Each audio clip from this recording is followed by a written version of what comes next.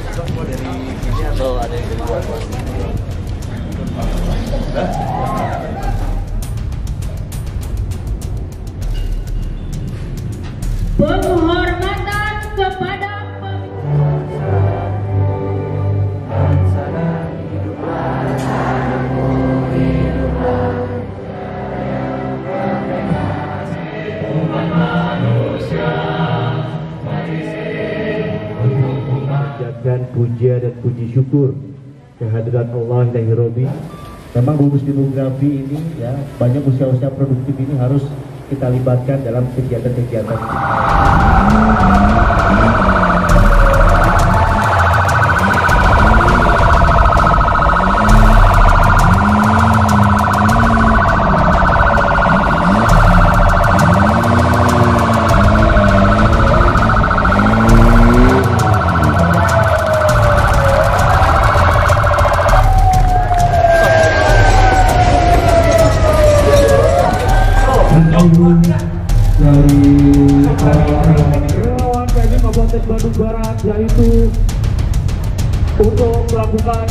api baik pada ketinggian ataupun di air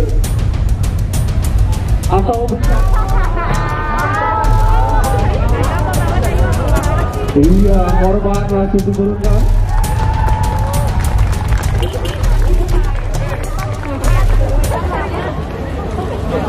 Iya, tim langsung melakukan pertolongan.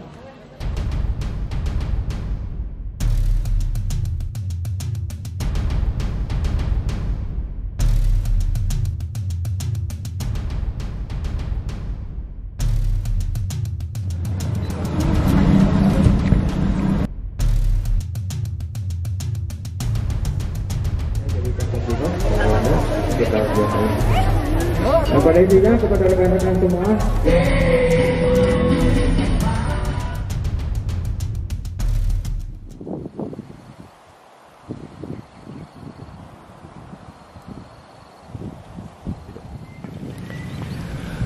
Wow, sungguh sangat mengerikan. Satu kata untuk si hewan satu ini adalah mengerikan, coy.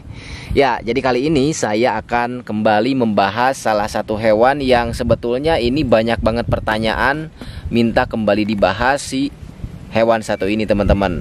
Selain itu, hewan ini juga dulu ketika memang saya kecil sering dianggap sebagai ular kawat. Namun ini sebetulnya bukanlah ular. Jadi tadi kita sudah eh, mengikuti pelaksanaan upacara eh, hari ulang tahun PMI yang ke-77 ya teman-teman karena di situ juga saya ingin memperlihatkan bahwa aktivitas saya sebetulnya ketika sehari-hari eh, selain membuat konten saya juga sebetulnya sebagai seorang relawan Palang Merah Indonesia Kabupaten Bandung Barat. Jadi kalau misalnya ada musibah, ada bencana, ada kecelakaan, nah itu biasanya saya langsung terjun coy. Yaitu khususnya yang ada di sekitar saya di daerah saya. Sebetulnya bukan hanya bencana alam saja, namun ketika ada eh, seperti yang kemarin terjadi, ada korban gigitan ular berbisa, ada ular masuk rumah yang pada intinya di sini saya membantu masyarakat dalam hal-hal tersebut lah. Oke, jadi kali ini saya akan bahas lagi nih si hewan satu ini.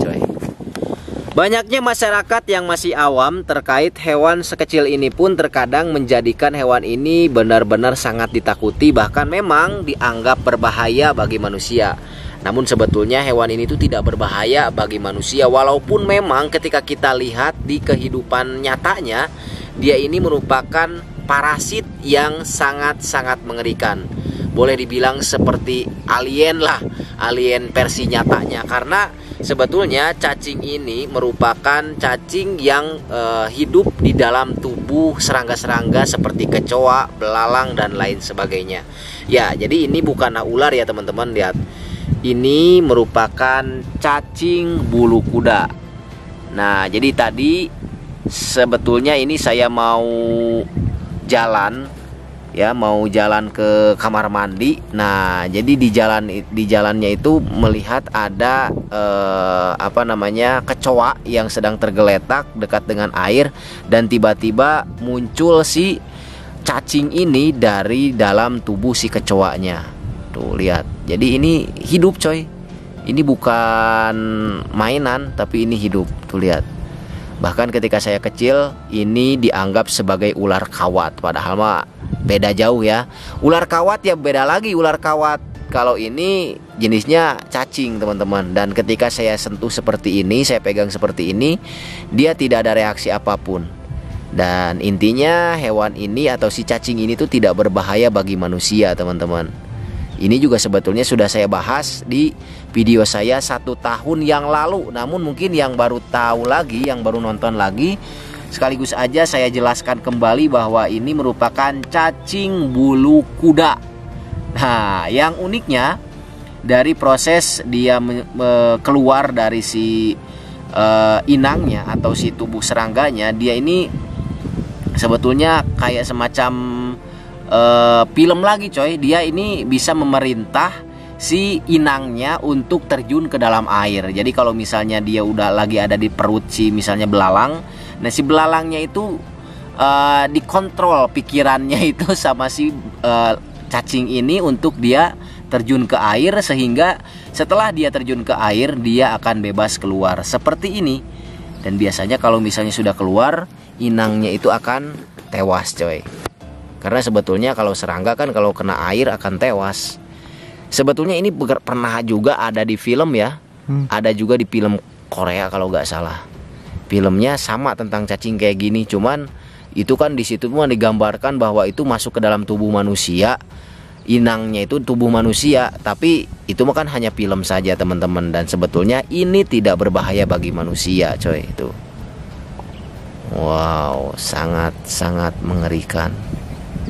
Bentuknya seperti itu. Bahkan eh, ketika saya baca baca beberapa artikel si cacing ini tuh ada yang sampai ukurannya itu 200 cm nya 200 cm teh berarti 2 meter 2 meter itu gila banget teman-teman. Namun memang saya juga sempat melihat eh, ketika di apa namanya kayak comberan lah melihat kirain ranting coy padahal ternyata si jenis cacing ini dan cukup lumayan panjang juga coy.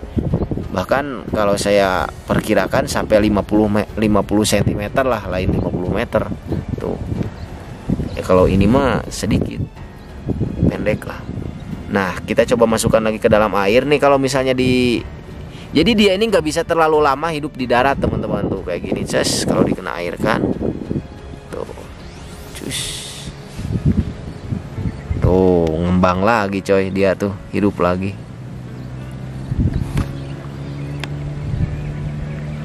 Oke. Luar biasa.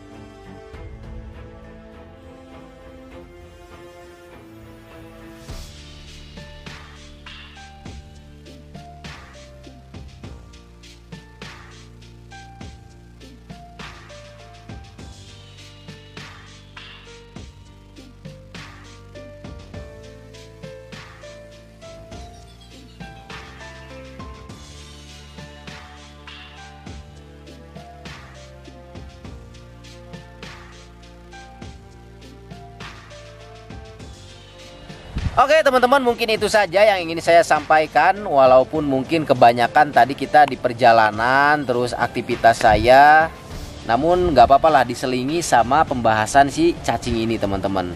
Oke mungkin untuk video kali ini itu saja. Jangan lupa di like dan di subscribe channel Sahabat Alam. Nantikan video kami selanjutnya. Nih mau ngopi dulu. Flysheet sudah berdiri Pemandangan enak Cuaca juga adem. Jadi kita mau ngopi dulu di sini Ngadem dulu di sini. Cus